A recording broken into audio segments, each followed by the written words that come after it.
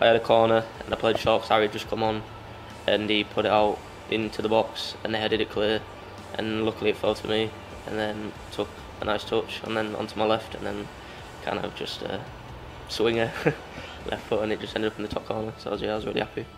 It was a tight angle but I thought it's a good chance to hit it so then the keeper was obviously to the right so I thought yeah that top corner was free so I just put it in there.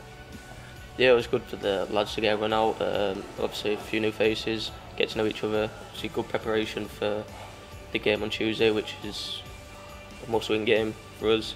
But yeah, everyone got a good run out tonight, and um, hopefully we can get the three points on Tuesday.